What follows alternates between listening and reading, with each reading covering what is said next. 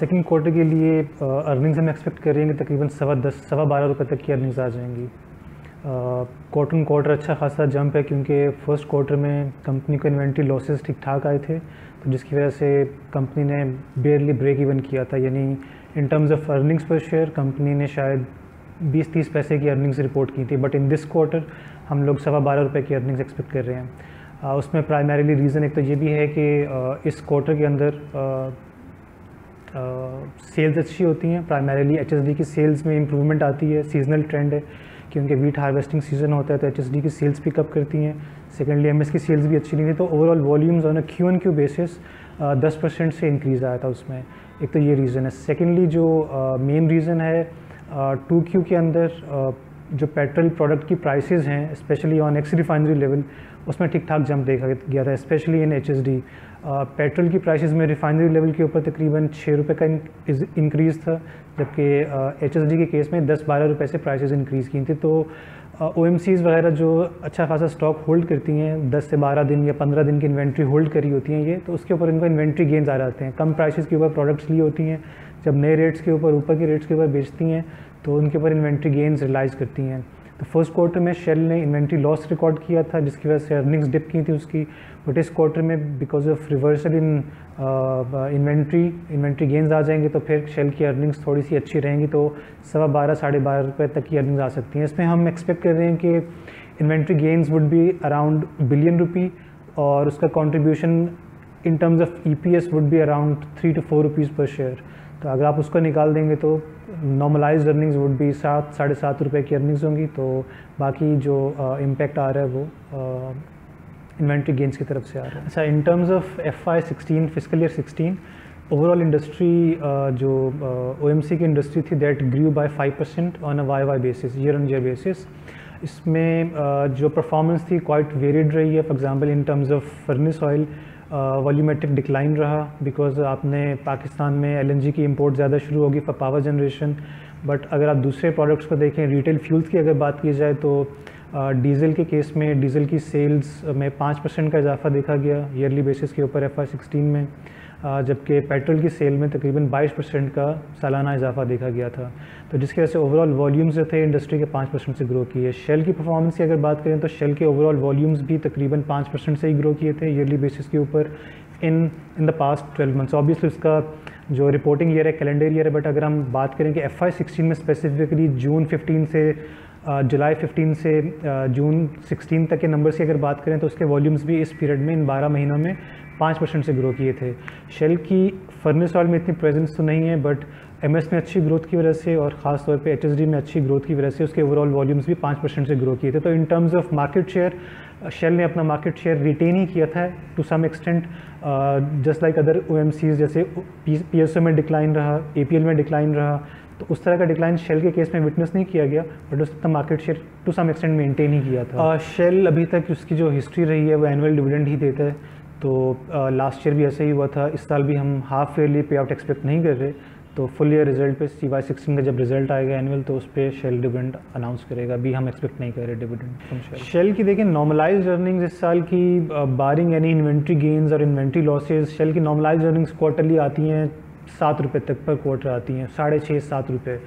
तो अगर inventory gain losses को निकाल दें तो 25 से अट्ठाईस रुपये शेल की अर्निंग्स आ जाती हैं साल की बेस्ड ऑन जो जो नंबर्स चल रहे हैं वॉल्यूमेट्रिक सेल्स के। बट बिकॉज़ के ऑयल प्राइसेस में इतना वेरी ट्रेंड रहा है, किसी क्वार्टर के अंदर ऑयल प्राइसेस शूट कर जाती हैं, फिर यानी करेक्शन आ जाती है सब्सिक्वेंट क्वार्टर में तो उस वजह से क्वार्टरली अर्निंग्स में वेरिएंस फिर ऑयल प्राइसेस को सिमुलेट ही कर रहा होता है टू सम एक्सटेंट जैसे पिछले क्वार्टर में अर्निंग्स ख़राब थी, इस क्वार्टर में अर्निंग्स में एक थोड़ा सा जंप आ जाएगा because of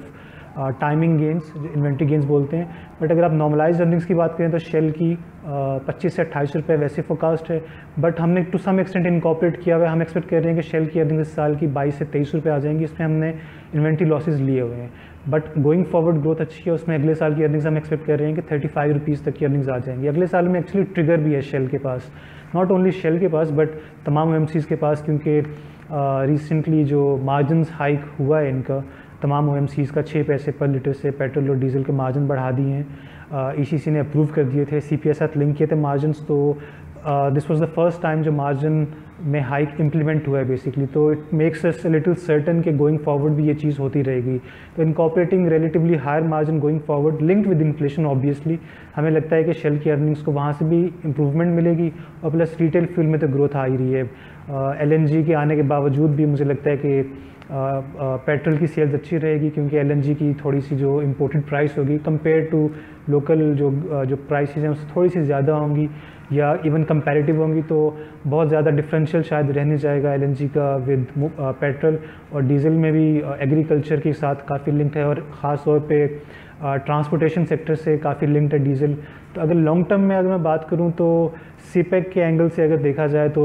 one belt one route की जो बात की जाती है, अगर सी एक्चुअली इम्प्लीमेंट हो जाता है, एक, इतना बड़ा कॉरिडोर बन जाता है ट्रांसपोर्टेशन नेटवर्क अगर डेवलप हो जाता है तो उससे आपकी डेफिनेटली एच की सेल्स को भी गोइंग फॉरवर्ड बहुत अच्छा बूस्ट मिलेगा। तो लॉन्ग टर्म में भी हम पॉजिटिव ही हैं शेल के ऊपर और इन टर्म्स ऑफ़ अर्निंग्स इस साल बाईस से पच्चीस रुपये और गोइंग फॉरवर्ड अगले साल की तकरीबन बत्तीस से पैंतीस रुपये की अर्निंग्स एक्सपेक्ट करें शेल की।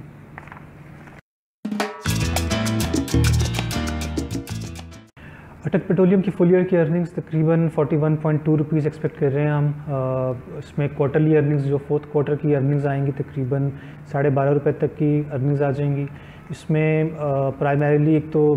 अच्छी अर्निंग्स जो थोड़ी सी आपको नज़र आ रही हैं, उसमें अच्छा खासा contribution would be from inventory gains 400 से 500 मिलियन के हम इन्वेंट्री गेन फोर्थ क्वार्टर में एक्सपेक्ट कर रहे हैं, जिसकी वजह से अटक पेट्रोलियम की अर्निंग्स अच्छी आ रही हैं। अगर इनको हटा दिया जाए तो नॉर्मलाइज अर्निंग्स अटक पेट्रोलियम की भी तकरीबन आठ, साढ़े आठ रुपये तक की बैठती। उसमें वजह प्राइमरीली यही है कि अटक पेट्रोलियम में एक स्टडी वॉल्यूमेट्रिक डिक्लाइन चल रहा है। तो उसकी वजह से ऑपरेटिंग लेवल के ऊपर अटक पेट्रोलियम की परफॉर्मेंस थोड़ी सी ख़राब है। तो इस वजह से उसकी अर्निंग्स में इतनी ग्रोथ आपको दिख नहीं रही है।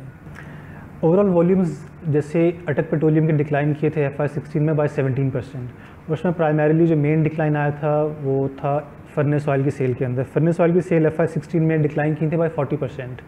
और रिटेल फ्यूल्स में एच डी की सेल्स में डिक्लाइन रहा बाय सेवन परसेंट जबकि एम एस में थोड़ी सी एक इम्प्रूवमेंट थी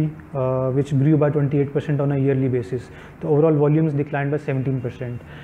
F की मार्केट में बेसिकली जो अटक पेट्रोलियम ने अपना जो इतना शेयर लूज़ किया, उसमें प्राइमरीली मैं समझता हूँ कि एक तो मार्केट थोड़ी सी कम्पेटिटिव है फर्नेस ऑयल की मार्केट में। ओगरा की तरफ़ से सिर्फ़ एक सीलिंग डिफाइंड है मार्जिन के ऊपर, बाकी ओ